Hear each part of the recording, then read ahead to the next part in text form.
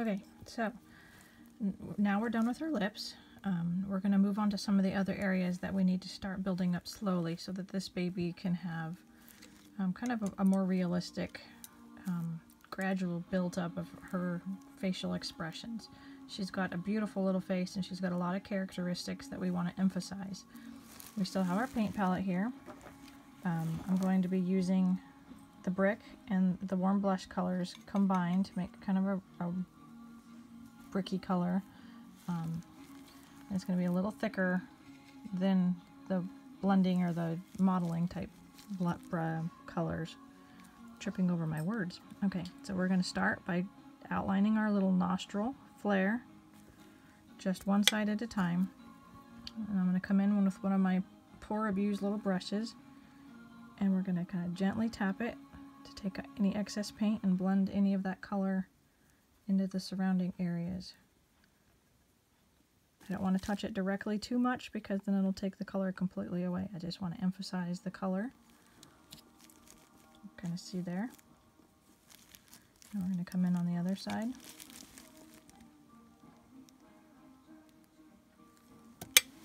Again, we're going to blend this color in gently.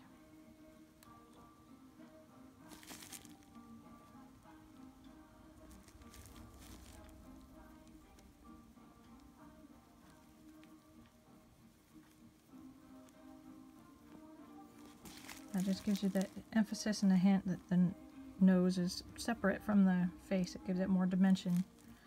Now we're going to come in with a little bit of detail down the lip here. This is more than the lip. I think this is called the Cupid's arrow.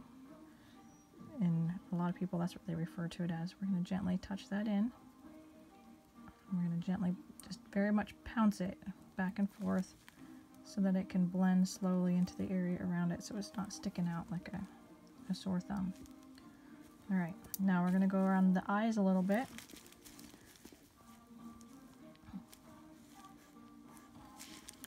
Get on you now.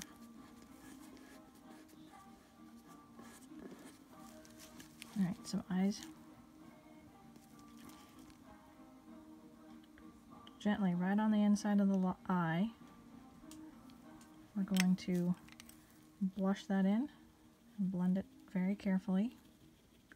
I don't want to pull it out because it'll look like she's been crying. I just want to leave it there so it emphasizes the depth in her eye.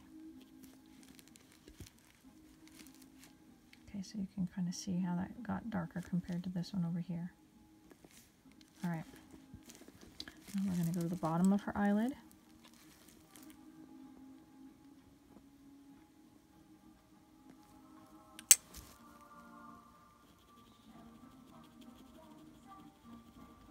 I'm going to make this baby kind of a strawberry blonde, and so I want her coloring to reflect that. So she's not going to get too dark. She's not going to get any more pink. Um, we're going to do a couple more layers next to emphasize that she's going to have fair skin and reddish blonde hair.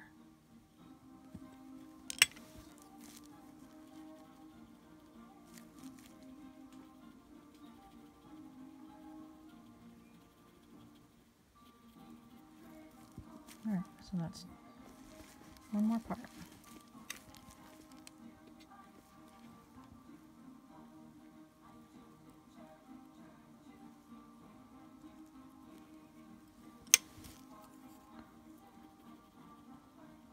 That's why my brushes get all mangled and buggered up looking because of the tapping and the pushing. I don't want to pull like normal painting would be.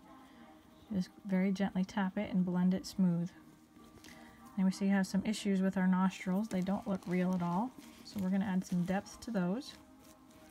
For this color, I'm going to go with a little bit of my bright red. Let's see if I can get that in a spot where it doesn't reflect. My bright red mixed with my purple. And this is going to be a little bit thicker.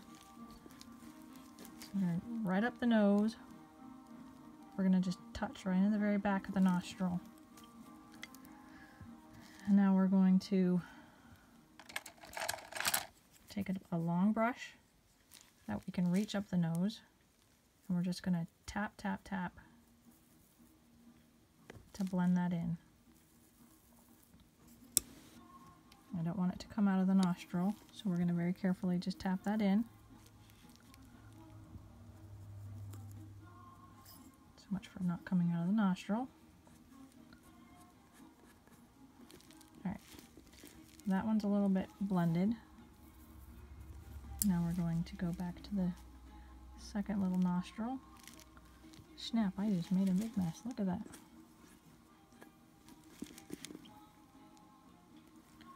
Okay.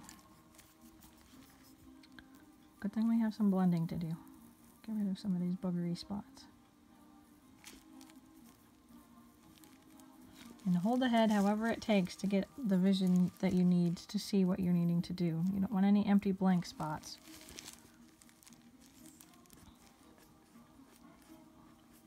Okay. So now we have some depth building up on her. Our next area of depth, we're going to go for the ear. And this color, I'm going to go straight with the, eye, the dark eyelid purple. Not dip it in anything else but that. We're going to go straight to the bottom of the ear. And then we're going to take our little blending brush and try to leave as much there as we can, but gently pull it out to the other areas to make it look deep inside of the ear.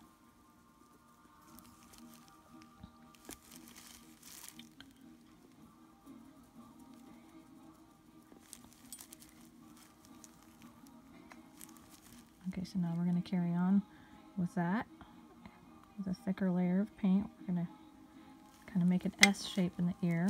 This is going to emphasize those deepest, darkest creases. Gently just pounce it. I'm not lifting the brush up very much at all. It's just kind of vibrating back and forth to blend that paint in really deep.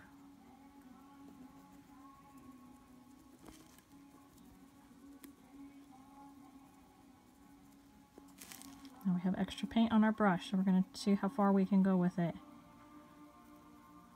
Just keep on carrying it around.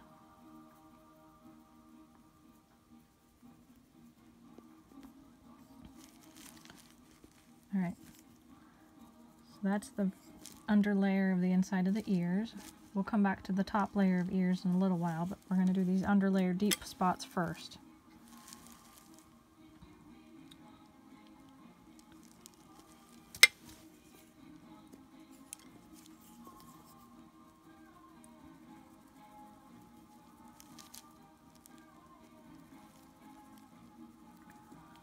Ear number two.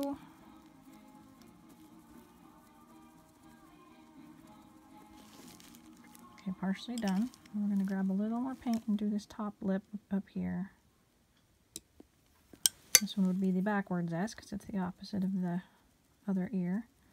And again, we're going to gently pounce and kind of drag our paintbrush up to blend that into that deepest, darkest crease.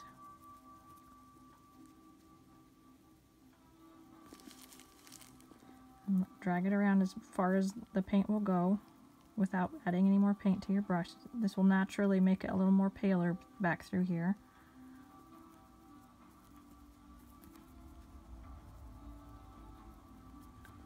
Okay, so that's that. So we have our lips, we have our nose, we have our nose creases, we have around the eye, we have our ears. And now the last creases that we need to start building up slowly on our face is these under the neck creases. So we're going to throw in some paint, and then we're going to go back to this brush, our poor mangled blender, and just tap it and move it back and forth across it until it blends to a level that you are happy with. And I'm not pulling it out of the crease, I just I want it to stay in the crease as much as possible. I just want to remove any excess paint and allow the color to blend naturally. There's a small crease here.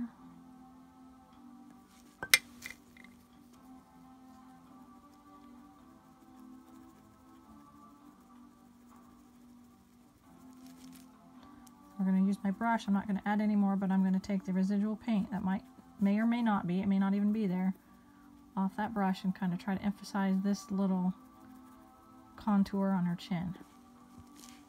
There's not much there, but it'll add a little bit of depth as we go. All right.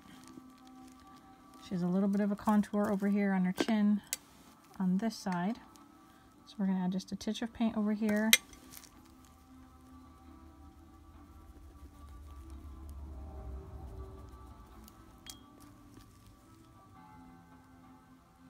And a couple of these little creases here.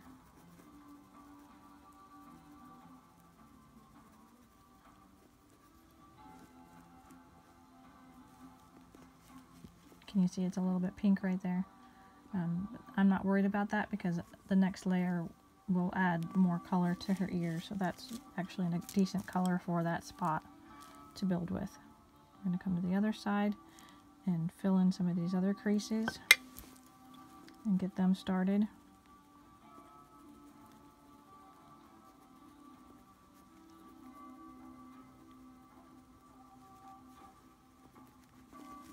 Okay, all right, now we're to zoom out a little bit so you can see what she's coming to look like. She's already looking really pretty. Her veins look amazing real. She has this little funky spot. I think I got it off the paint right here, so I'm to see what I can do about that. We might have to turn that into a little natural blemish and maybe time to change my paint sheet. Um, we'll see what becomes of it.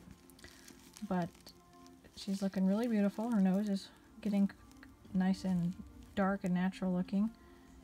Um, her eyes are looking natural. Her ears are started. She's looking good. Alright, so we have a couple more creases in the back of the neck just to start the, the building up of those.